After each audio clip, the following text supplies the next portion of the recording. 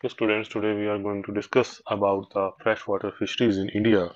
India has a total water surface area of approximately 3,14,000 square kilometer with numerous water resources in the form of say rivers, streams, ponds, other reservoirs, etc. So inland, the so freshwater fisheries uh, can, can, can be exploited very much to for the for the development of fisheries in India. So so the freshwater fisheries include mainly capture fisheries, but uh, it also include the cultural fisheries so the freshwater in, in India comprises of rivers, canals, reservoirs, ponds, estuaries, brackish water lakes, backwaters and the floodplains. Total such area in India is approximately 3 lakh square kilometer. As I told you, it comprises both the capture and the culture fisheries. Capture when we capture the fishes and culture when we uh, farm the fishes. Major river and canal systems are present in UP, J&K and Madhya Pradesh.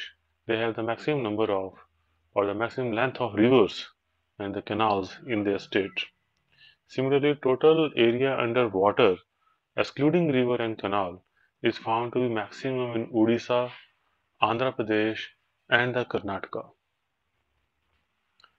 Talking about the brackish water, the brackish water area are mainly concentrated in Odisha, Kerala, West Bengal and Gujarat. Though other states do have the, the rivers, the uh, ponds and the brackish water, but the maximum amount or the maximum length or the maximum volume of the fresh water in these form is present in these states. Now, before going into the freshwater fisheries, let us discuss about the part of a, of a river. A river consists of two parts as it is a, linear system having a steep upper portion near the origin giving way to less gradient and smooth mouth as the mouth is approached. So when you see a river, it looks like this. It has a steep upper area when it travels down from the hill and when it reaches the plains it becomes wide and and and with less gradient. And it is uh, it is not that rapid as it, as it when it starts from the uh, origin. So it has two zones. One is the Rhithron zone and other is the Potaman zone. It is Potaman and sometimes it is the Potamon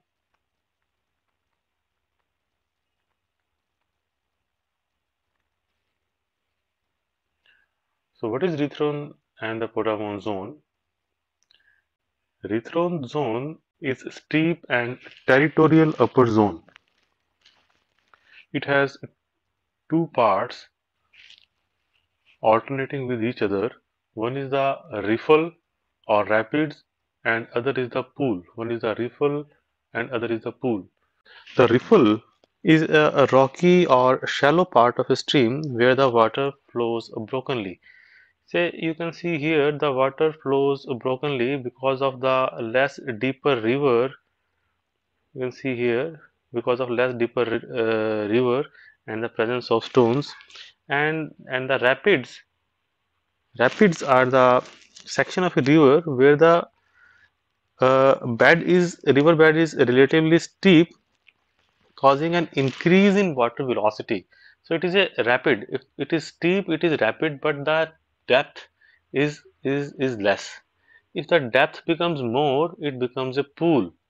So we when we when the river starts from a starting point it has both the rapids or the riffles and the pool. They they most of the time they alternate with each other. So in a river we have a rapid and we see the cross section of the river.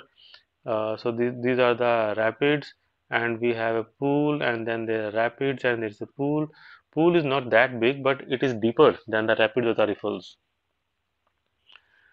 So the fishes which are present in the erythron zone are, are best suitable to live there. They are either small, they, they are they are to be small size because of the less area. They they grip the substratum with special organs like the mouth sucker, which is present here in case of Chiloglanis, or the certain fishes have the pectoral fin spines. See here the pectoral fin spines with which they can uh, attach themselves to the substratum because the speed of water is fast. Or the fish has to be fast swimming. And they, they, these fast swimming fishes intermittently beach beach may they rest in the pool. For example the Barbus this is the Barbus or the famous salmon which sometimes travel against the rapids also. Second is the potamen zone. It is the flat slow moving lower part of the lower course of the river. The speed of water is less. The currents are relatively smooth. It is characterized by wide, flat, mud bottom. Okay, it is always wide, it is flat, it has a muddy bottom and with rooted or the floating vegetation also. The environment of the Potamen zone is more complex than the erythron because the erythron zone is always full of oxygen because the water is flowing regularly and it is full of oxygen. The Potamen zone shows further zonation which is both longitudinal and lateral. Longitudinally, there is a replication of different habitats associated with twisted channels. And laterally, say, say this is a Potamen zone, laterally it has the flood plains where extra water stays and it is not these these floodplains are not permanent. So the fishes living here have uh, different strategies in comparison to the main canal or the upper canal. So many water bodies are found on the plain ranging from the small temporary pool to large permanent lagoons or the swamps around the main river. Now in the water bodies of the floodplain dissolved oxygen here, the, the water bodies of the floodplain, the dissolved oxygen concentration fall in the dry season, particularly in the smaller ones, which may become completely depleted of the oxygen. So there are certain adaptations for the fishes which live in this zone. These are adapted for low dissolved oxygen and high temperature. For example, the Clarias and Notopterus they both are water and air breathing. They can breathe from air because of their special uh, respiratory organs. And second adaptation is backward migration or lateral migration from floodplain to main river or from the uh, main river towards the upper part of the river.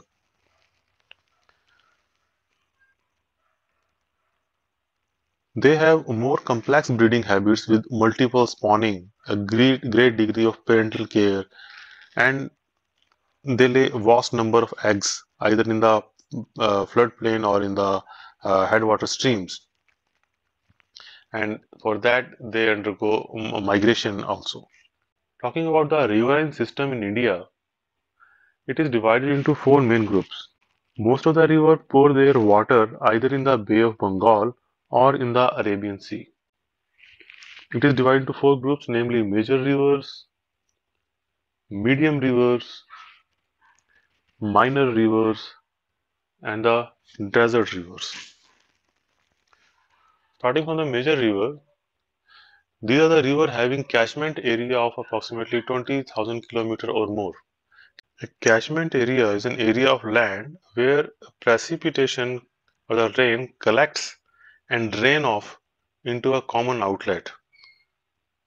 So if the area is approximately 20,000 kilometers, these are the major rivers. There are 14 such rivers in India and they are based on the origin. One are the Himalayan river which originates from the Himalayas and other are the peninsular region which uh, originates from the peninsula of the central India. The important rivers of the important major rivers in India are the uh, Ganga, Brahmaputra, the Indus, the Himalayan rivers and the peninsular rivers like the Mahanadi, Krishna and the uh, Kaveri. Next are the minor medium rivers. Medium rivers have a catchment area of 2000 to 20,000 square kilometer. There are 44 such rivers in India, out of which 17 rivers are towards the Arabian Sea and rest towards the Bay of Bengal. So if we can uh, visualize the map of India,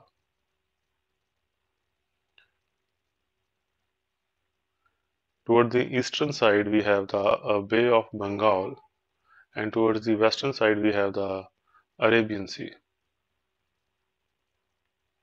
So 17 rivers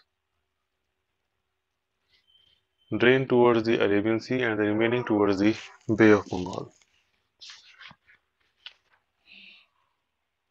Minor rivers have catchment area of less than 2000 square kilometer and many rivers of western and eastern Ghats compromises the minor rivers. Desert rivers are the very small rivers of desert area. For example, the Ghaggar. These are the major riverine system of India. So before going into the details, let me uh, introduce you to the rivers. One is the Ganga river system. This is the Ganga river, starting from from the heights of the Himalayas and going through the plains of Uttar Pradesh and draining and draining into the Bay of Bengal. This is the Ganga river system. Second is the Brahmaputra river system again originating from the Himalayas and and and most uh, the the traveling through the India from in Arunachal Pradesh and Assam and again draining into the Bay of Bengal. Third is the Indus river system again originating from the Himalayas and comprises of different rivers and draining into the Arabian Sea. The East Coast River System, this is the east and this is the west.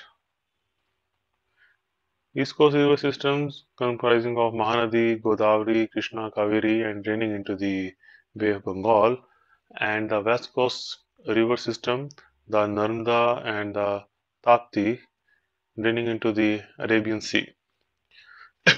so these are five major riverine system of India which you have to remember. One is the Ganga river system, other is the Brahmaputra river system, the Indus river system. All three are from the Himalayas and the east and west coast water system towards the east and west coast of the India.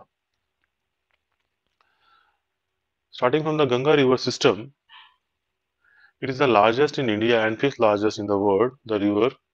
It originates from the Gomukh, Uttarakhand and drains into the Bay of Bengal. Okay, there is a controversy again whether it is whether it is originates from the Gomukh or from the Mansarovar Lake. You can search the literature and uh, you will find a uh, you will find that it is a controversial issue. So the Ganga originates from the Himalayas somewhere near the and, and drains into the Bay of Bengal. The annual water discharge is approximately 18,1700 cubic meter per second and it sustains 300 million people. River Ganga and Yamuna are the major components of the system. Yamuna originates from Yamunotri and covers a distance of approximately 1000 kilometer before joining into the Ganga at, at Allahabad.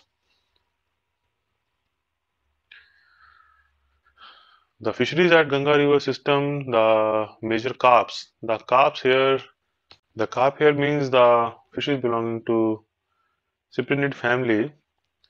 So major carps are the Catla Catla, uh, this is Catla Catla, the Labeo Rohita and Cirrhinus mrigala. The other carps are Cirrhinus reba and Labeo bata.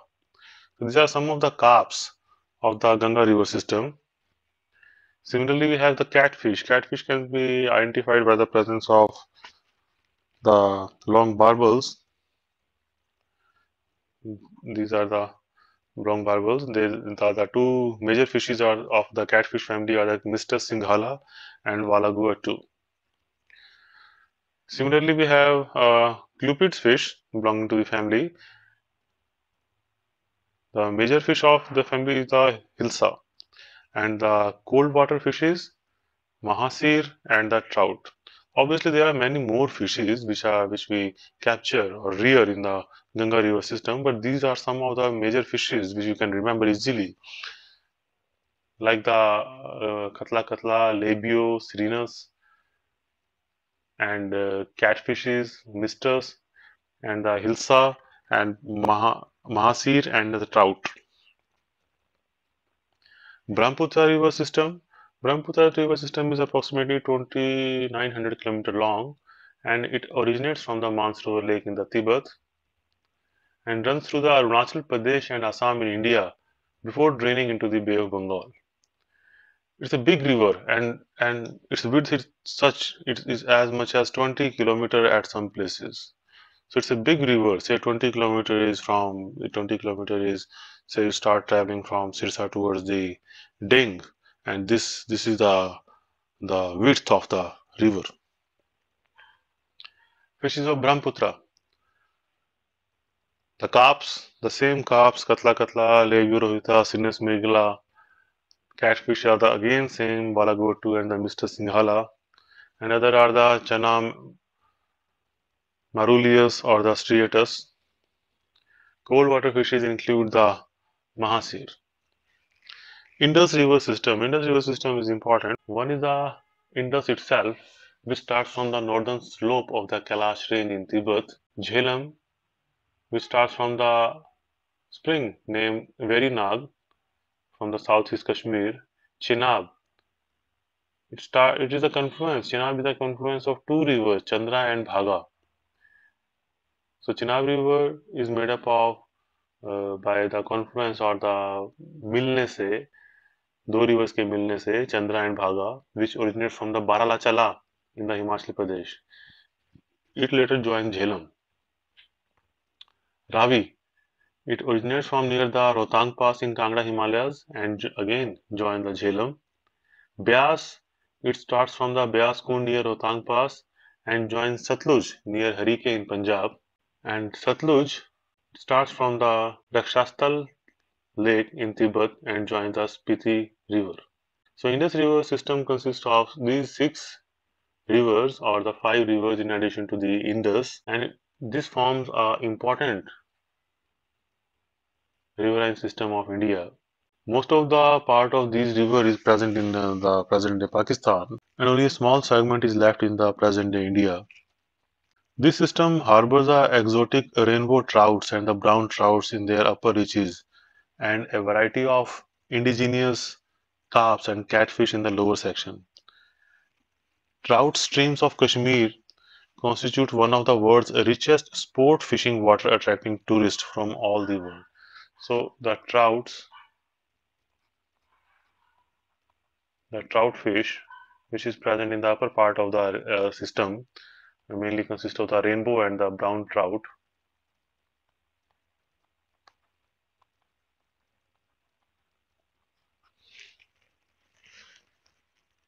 attracts the uh, sports fishermen from all over the world. They come here to catch the fishes only as for, for the purpose of sports only. okay, East Coast uh, river system. East, East Coast river system consists of three rivers, the Godavari, Krishna and Kaveri, each having several tributaries. These rivers flow eastward and drain into the Bay of Bengal. So Godavari River starts from the Deolali near Nasik in Maharashtra. It has many dams and irrigation canals. Krishna River starts from the Western Ghat near Pune, Pune. It has two main tributaries, Bhima and the Tungbhadra. And third one is the Kaveri. It starts from the Brahmagiri hill of the Western Ghats. Bhavani, Noyyal, and Amravati are the three main tributaries of the Kaveri river. So about 80 species of fishes are reported from the uh, river system. Again, the main fishes of the of the of this east coast uh, riverine system is the Cirrhinus mrigala, Catla catla, labeo, and catfishes including Mystus singhala, and exotic fishes like the Cyprinus are found in the east coast river system. West coast river system consists of two rivers, the Narmada and the Tapti. Narmada river originates from the Amarkantak hills from the Bilaspur, Madhya Pradesh and empties into the Gulf of Khambat. Gulf of Khambat is the area as, as circled here in the diagram below the Gujarat in the Arabian Sea. It is approximately 1200 km long, Narmada river. The major fishes of Narmada river are again the labeo, Cirrhinus mrigala, Mystus singhala, and Channa species. Tapti river, the next is the Tapti river. It originates from the Satpura range of Vindhya mountains and it also empties into the Gulf of Khambat. So the uh, the purpose of the lecture is to introduce the students towards the major river system and the rivers of India here. Which river lies on the east coast, which river lies on the west coast, the Himalayan rivers. As you as you uh, came to know that the Himalayan rivers consist of the Ganga river system, the Indus river system, and the Brahmaputra river system. Whereas the east coast rivers are the